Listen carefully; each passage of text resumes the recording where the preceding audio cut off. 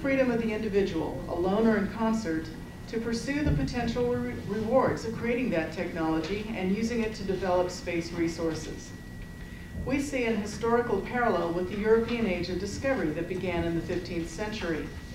Dominant nations developed exploration technology to jockey for geopolitical advantage. Entrepreneurs used investment capital to buy this technology, then used it to bring back a wealth of new resources to the old world. It was to, to develop these resources that business people coined the term share for the part of a venture organization that could be bought and sold. There are those, however, who would rather see science crippled, who would rather leave the water and mineral resources of near-Earth space sitting unused millions of miles away than have private profit-driven concerns make them available for human use. They believe it would be wrong for individuals to accomplish the tasks of opening space unfettered by the direction and control of those incapable themselves of accomplishing those tasks. These people do have the opportunity and the motive to erect bureaucratic obstacles to commercial development of space exploration technology, science be damned. We believe one task of space industrialists will be to educate both the, both the public and government officials about the importance of clearing the way for private ventures and the dangers of accommodating biased and unscientific thinking about the appropriateness of human activity in space. This education is part of ASR's strategy for boosting space exploration, and I'll come back to it more later. Though the Space Exploration Initiative languishes, scientists and engineers have continued to discuss the means by which lunar and Martian bases could be built using in situ materials. In experiments using various heating schemes to heat and reshape basalts into bricks and ceramics, Lockheed Martin found differences in results between MLS-1, a high titanium crystalline basalt whose content approximates Apollo 11 samples, and JSC-1, a glass-rich basaltic ash similar to Mare soils. There is a long history of industrial basalt casting in Europe, and such casting on the moon from ilmenite-enriched or iron-rich lunar basalt could produce oxygen as a byproduct. Could we learn more about how to make this work on the moon if actual lunar samples were available to industrial R&D departments? Quite possibly. Interestingly enough, under other scenarios, extracting oxygen from lunar regolith could leave metallic byproducts, such as iron, aluminum, magnesium, and titanium, not to mention calcium used in cement-type building materials. Industrial glasses for construction and insulation purposes can be developed from lunar soil materials as well. Most lunar soil consists of minerals that can be used in building structures, and structures will be necessary for shielding from solar and cosmic radiation and temperature variations.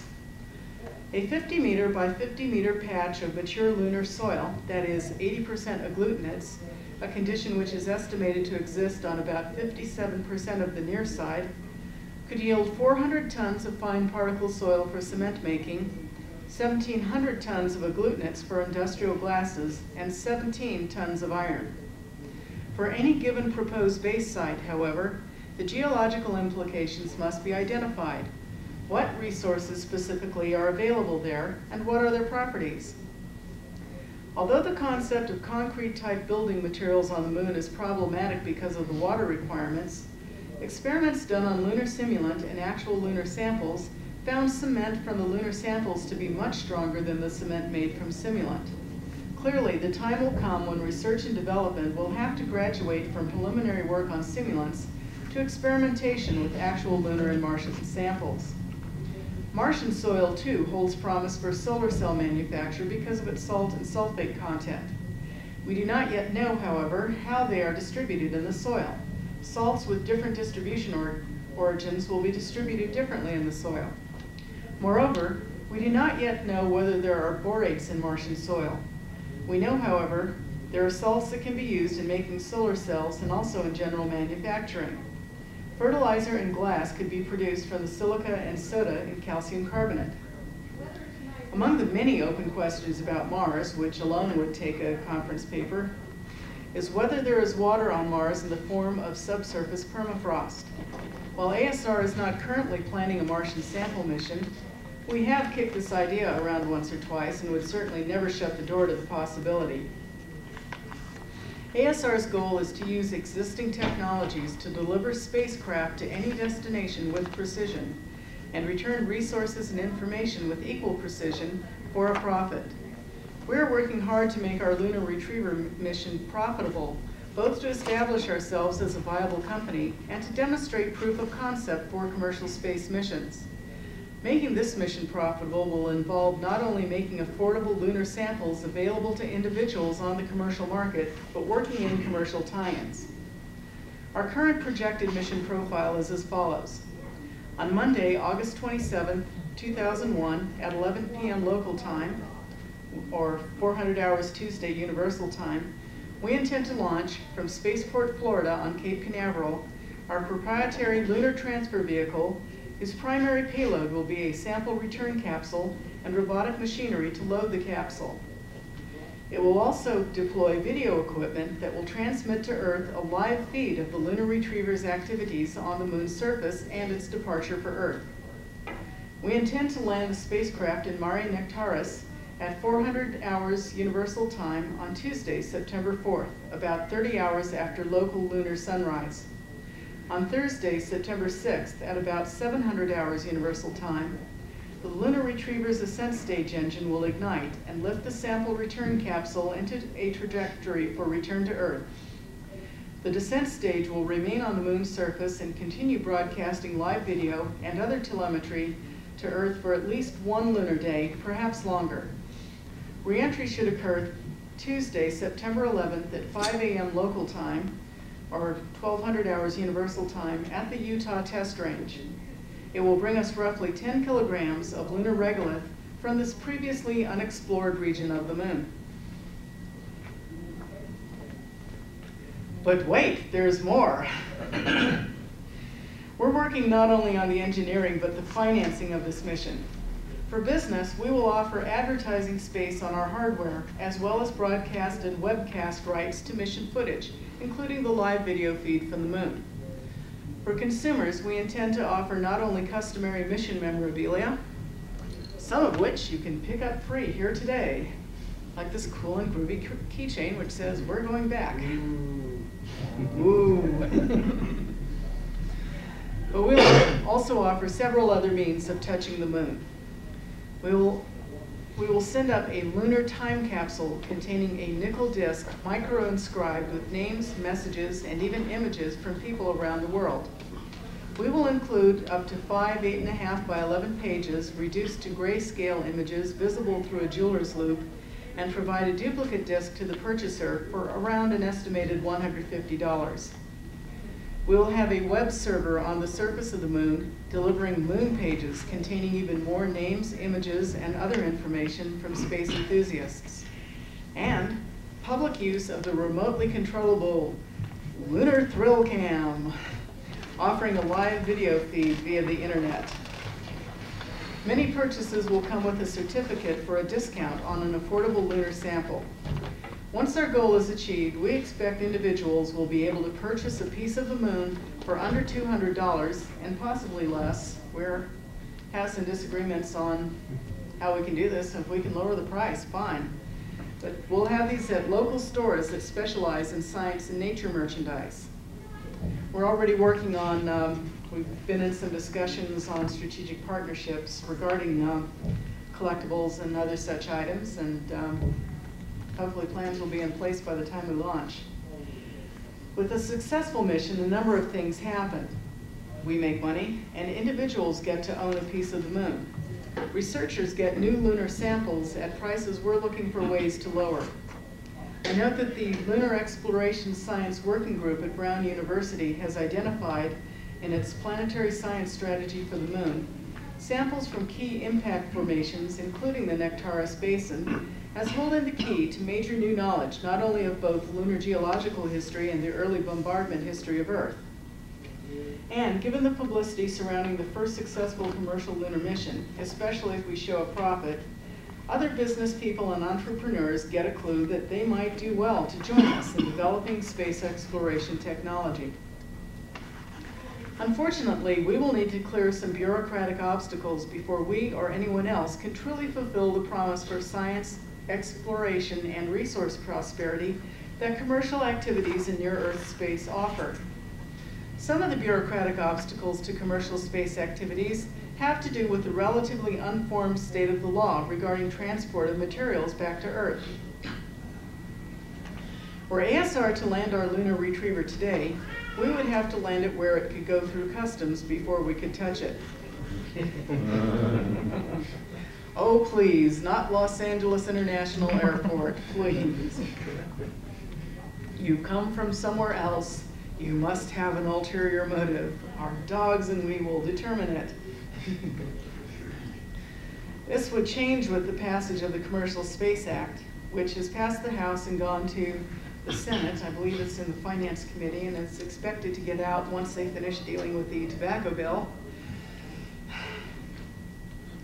In addition, the Commercial Space Act would direct NASA to purchase data and services from private firms where doing so would be less costly than executing the same activities in-house.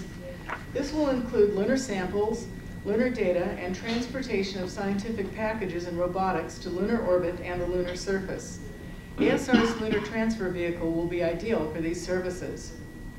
International law is currently ambiguous on the topic of commercial space activities, and especially the physical ownership of space resources.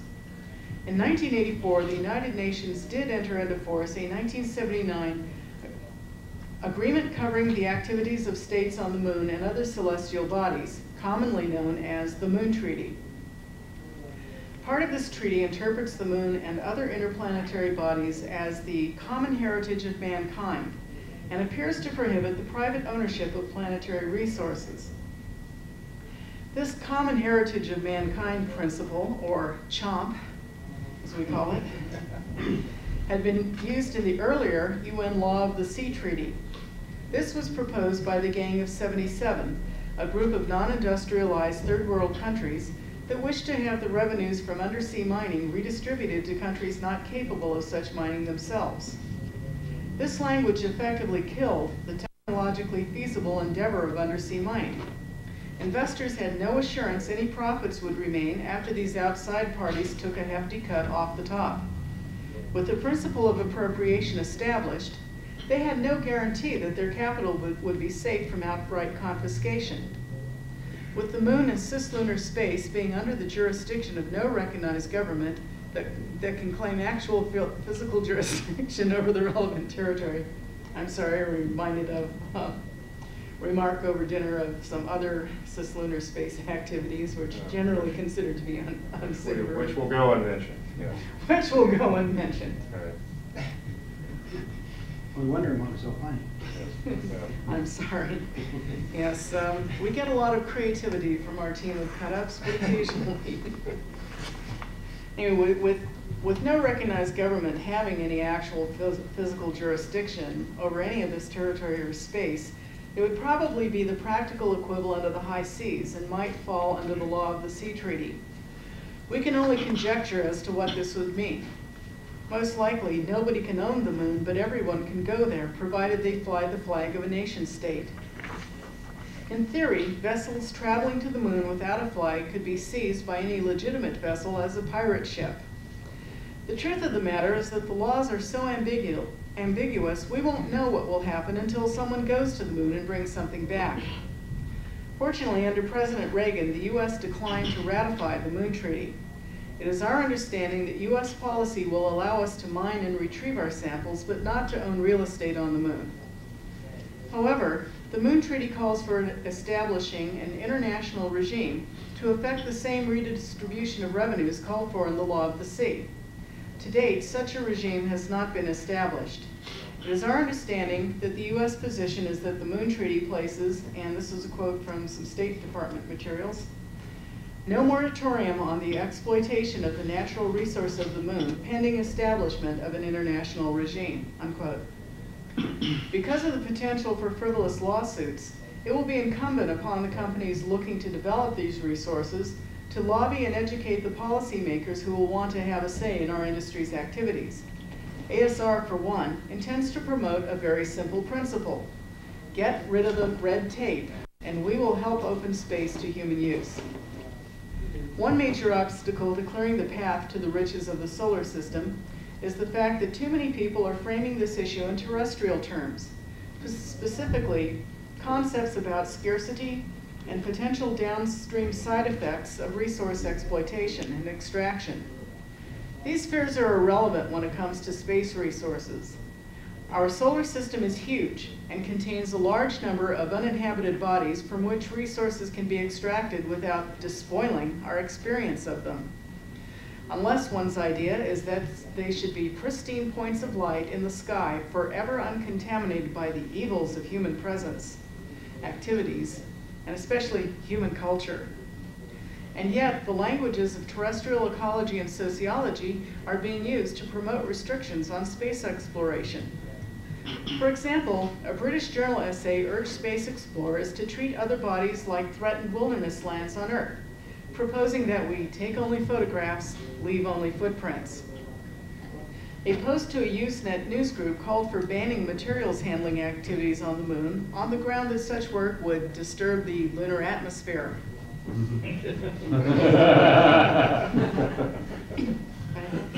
my god, they're like making the lunar atmosphere like all gnarly. One of the most significant steps in human evolution, our moving beyond our home planet into space, is being characterized as another case of humans destroying the natural realm through our very presence. This notion is especially abs absurd when applied to asteroid mining, given that asteroids are nondescript big rocks or ice cubes millions of miles away.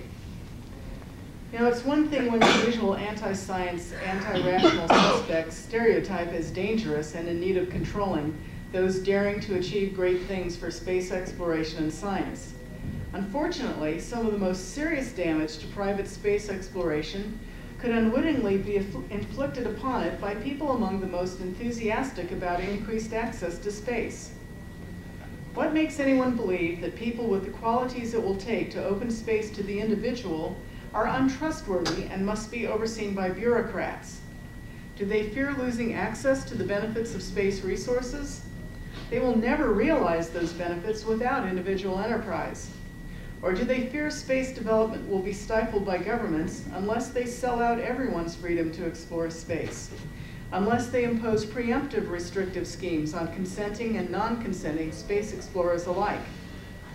Whatever the motive, those who would have the earthbound govern the activities of the spacefaring agree with the superstitious on a common concept. Development activities in space must be subject to a tyranny of the majority.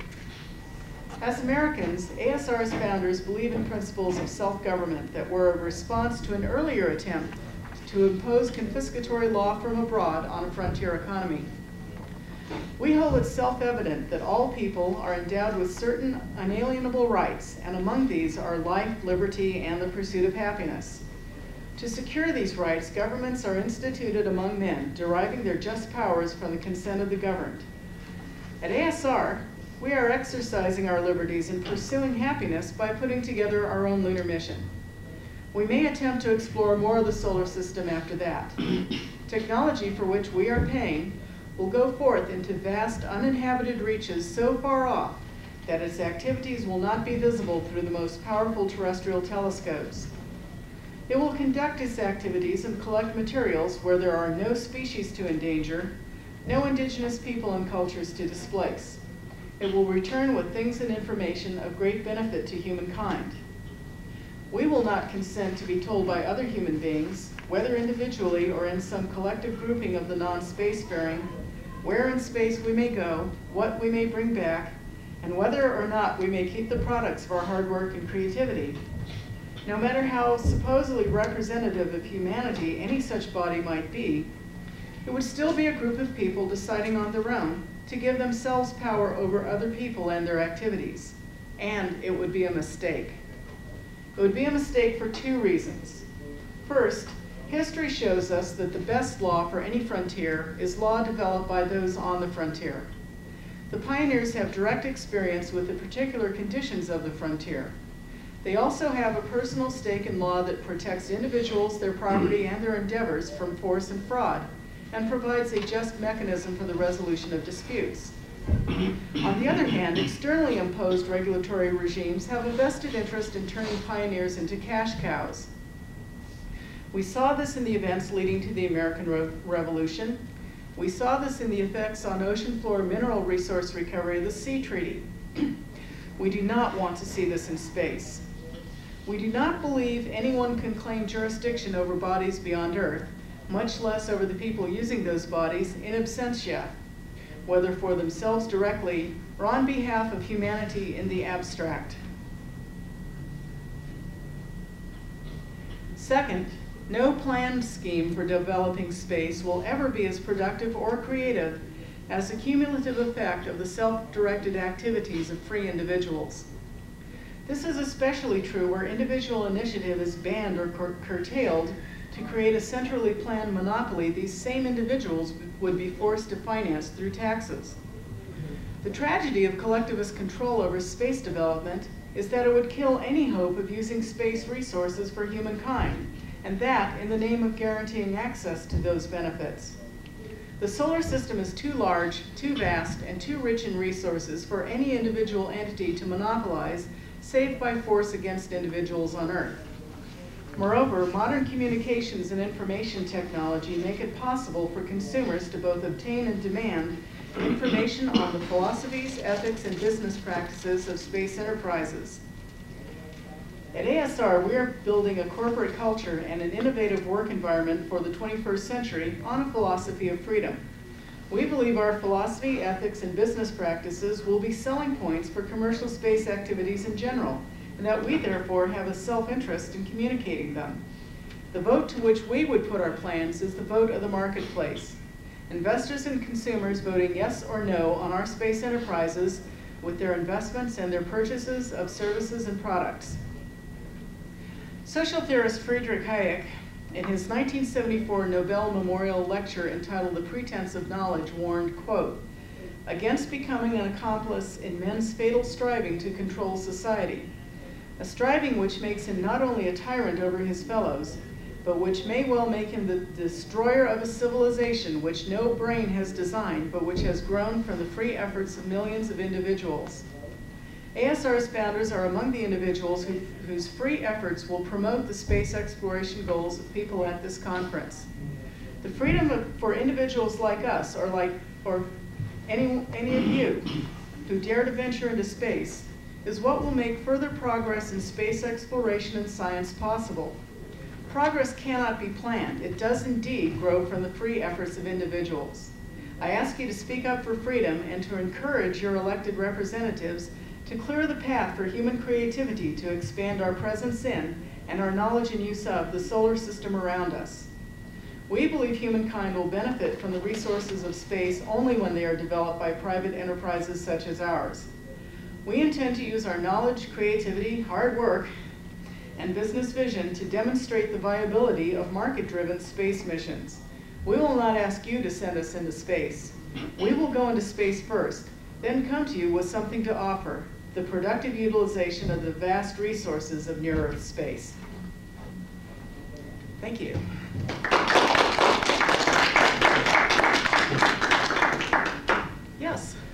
What's your estimated mission cost and what's your return payload capacity? When we started, um, we decided to go ahead with, with this business on the, on the calculations that we could do this for under $100 million. The cost is now down to under $60 million. And we anticipate bring, being able to bring back 10 kilograms, roughly, of lunar regolith. And you're not expecting this to sell those 10 kilograms for $200 a unit, what is it? No. One grain at a time. One grain at a time.